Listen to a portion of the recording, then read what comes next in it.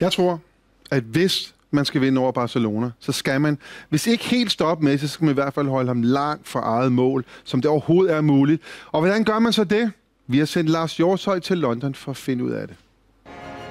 Stemningen her i London få timer før kickoff er spændt som et yver. Og et af de 60 store spørgsmål, der melder sig før kampen, er naturligvis, om det kan lykkes Manchester United overhovedet at stoppe Messi.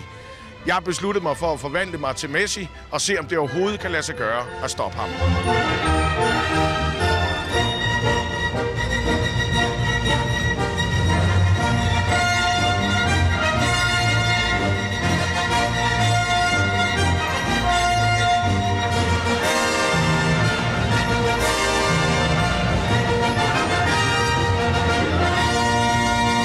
You're looking like for Messi.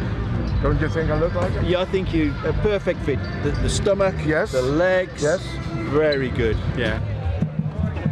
You think you can stop me? Oh, we'll stop Messi, yeah.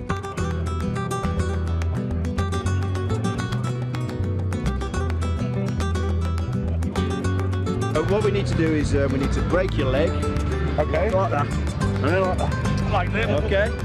And then and then we'll get the ball Yes. like that, and then we'll. Can you show me out on the, on the, on the grass? Yeah.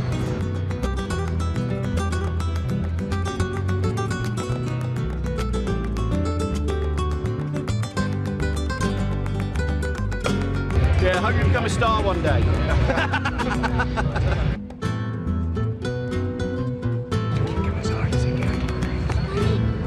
Don't make him cry. yeah, that's the only way to stop Messi.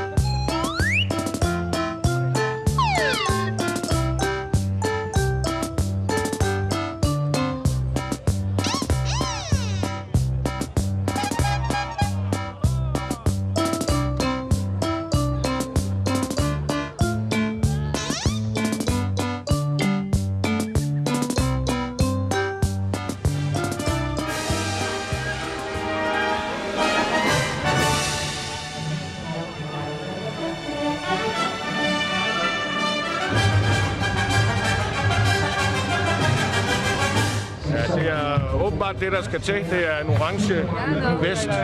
Så kan man stoppe Messi. Så United de skal bare spille i orange i dag.